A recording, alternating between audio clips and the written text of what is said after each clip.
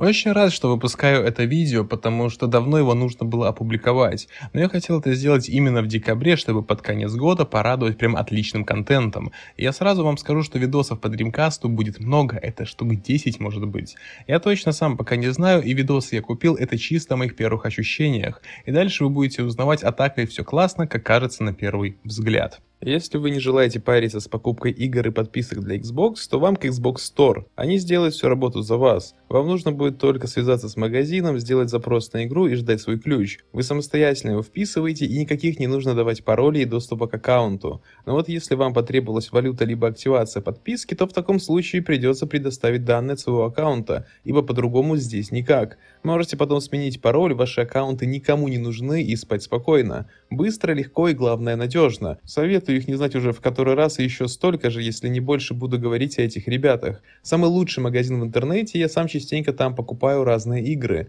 начиная от громких новинок и заканчивая инди. Так что ассортимент у них большой. Оставлю ссылки в описании на магазин, группу ВК и Telegram. Вы можете в любой из этой соцсети приобрести нужную вам игру. Я хотел приобрести Dreamcast очень давно, но так вышло, что любое предложение, которое проскакивало, оно было, мягко говоря, неадекватным. И стоимость за дримку в 10 тысяч, 15 тысяч рублей это считалось нормой. А какие 15 тысяч за даже неполнокомплектную игровую систему? Это, как по мне, бред, поэтому поиски затянулись прям до жути. И вроде бы есть предложения, они реально имеются, хоть их и немного, но ценник слишком большой.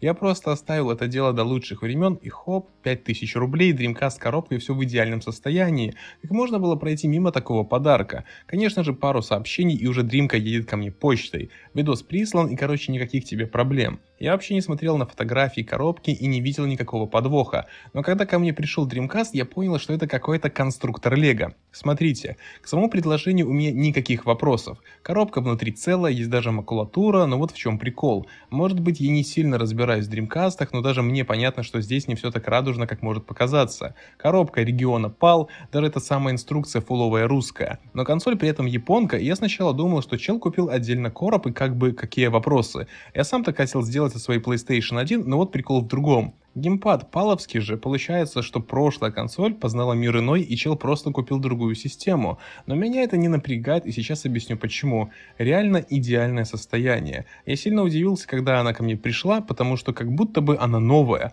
У меня, наверное, ни одной такой игровой системы нет, чтобы она была в идеальнейшем состоянии. Ни одной. Это прям изумруд, очень порадовало состояние. И что хочу сказать насчет дизайна Sega Dreamcast. Он хорош, привлекательный даже сегодня. 4 порта для контроллеров. И почему всегда всегда так. Почему, когда ты смотришь видосы в Ютубе, а затем сам покупаешь какую-то консоль, то ты всегда удивляешься ее габаритом. Это самая маленькая FAT игровая система, которая была выпущена по ходу. Хотя тут как посмотреть, но Dreamcast реально небольшой. Он малыш такой приехал ко мне, чтобы познакомиться с другими системами Sega. И теперь что ли купить самую первую Master System, чтобы собрать целую коллекцию домашних игровых систем Sega? М?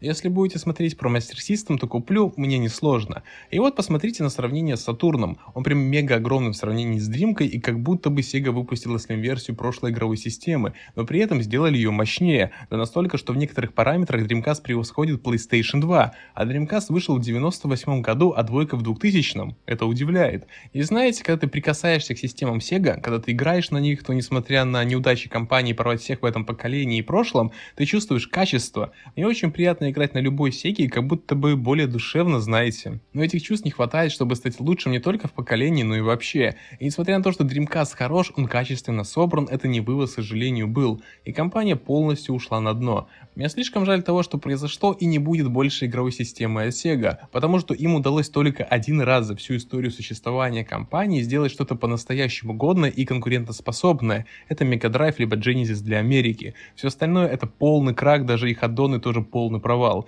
Так что Sega точно не вернется на этот рынок, инфа сотка. И Dreamcast, как и был последней провальной консолью, так и остался. И что у нас по геймпаду? На самом деле очень интересный контроллер вышел, неудобный до жути. После Xbox Original также никакого комфорта я не заимел, когда во все это дело рубился. То есть привыкать снова придется, он снова неудобный, что на Сатурне слишком много кнопок, что здесь. Чтобы дотянуться до шифтов задних, необходимо по-особенному держать этот геймпад. И честно, не очень. Но это потому, что мой геймерский путь был начат не с этой консоли. Я вообще с Dreamcast познакомился очень недавно. И конечно же, я не привык к этому контроллеру, 100% в будущем станет лучше. Это я понимаю, но первые ощущения именно такие. Неудобно совершенно. У меня не было в комплекте VMU, это лично для меня большая проблема, потому что в таком случае не получается сполна насладиться этой системой. Главная фишка, как я считаю, Dreamcast залочена именно VMU. Это экран в геймпаде, вы такое раньше видели? Получается, что Sega придумала Nintendo DS, два экрана, и как раз второй служит либо для карты, или же там отображается здоровье вашего персонажа. Но у меня, повторюсь, его нет. Нашел за 2000 рублей и вот размышляю, брать, не брать, так что не решил. Но скорее всего возьму, потому что хочется максималки. Я желаю получить от Dreamcast все то, за что его и покупали, и все фишки должны быть задействованы. Так что постараюсь раздобыть следующему видосу, а так здесь обычная карта и все. Это не годится, да и вылет как кривой обрубок. Может еще и Rumble Pack куплю. Но это вообще кринж, продавать отдельно вибрацию, я думаю, что это просто какой-то ужас. Учитесь Apple, также советую вам отдельно продавать вибропак, и звук-пак, тач-пак и вообще просто выпускайте дисплей без нутра и люди сами будут себе собирать айфоны. Но это лирика. Мне такое совершенно не близко, чтобы платить за то, чтобы у тебя была вибрация. Это удивляет, но Sega не первый, кто это сделал из пятого поколения. Это, конечно же, любимейшая Nintendo с консолью N64. Как можно было до этого додуматься, мне поражает просто. Представьте, отдельно продавать вибрацию. Да это так смешно звучит и жалко, что у меня нет никаких оправданий этому действию продавать вибрацию, я еще долго не смогу спокойно спать после полного понимания того, что реально происходило в 90-х годах.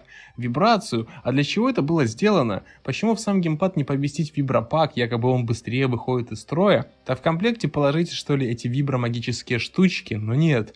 Так что ситуация полный сюр. Не думал, что этот момент меня настолько сильно удивит, потому что я знал, что такое раньше было. И вроде как спокойнее к этому относился, но когда ты понимаешь, что сейчас, спустя почти 25 лет, тебе нужно искать рампл пак на геймпад, потому что его в комплекте не было, это далеко не самая лучшая затея и вообще способ развлечения. Так что вот такие вот ретро-игровые системы. Их брать не стоит, если вы не готовы тратиться на вибрацию условно, потому что эти мелкие элементы реально важны для того, чтобы получить максимальный комфорт. Я сейчас не говорю за аксессуары, удочки, рули, не знаю, что там еще было, барабаны, может, какие, а про важные элементы, вибрацию и VMU. Это должно быть, иначе не то. И вообще, как понять, что покупка была совершена не зря? Если тебе хоть что-нибудь нравится, неважно, это игры, само удовольствие от консоли, кайф от распаковки и так далее, это уже не зря. У меня были моменты, когда я не получал удовольствия даже от распаковки, но здесь благо такого не было, может коробка зарешала, я не знаю. Но консоль мне понравилась, если что, и эмоции положительные. Я на ней пока что не играл, я говорю исключительно как есть. Видос недели с Dreamcast будет, и пока что я жду игры. Заказал их нормальное количество, когда придет, тогда и неделю сниму.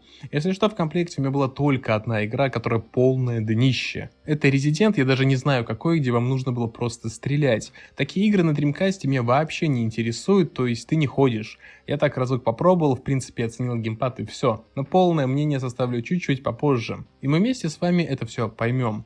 Будет также несколько видео сравнения, где информация будет очень полезной. Вроде как то, что я хочу сравнить, этого никто не делал. Так что видос будет эксклюзивным и очень крутым. Я это прям выкупаю, информация крайне полезная. В комплекте также был AV-кабель на телевизоре несовременном, который только 1080 показывает, нормально. Картинка лучше, чем на PS1 при подключении к AV.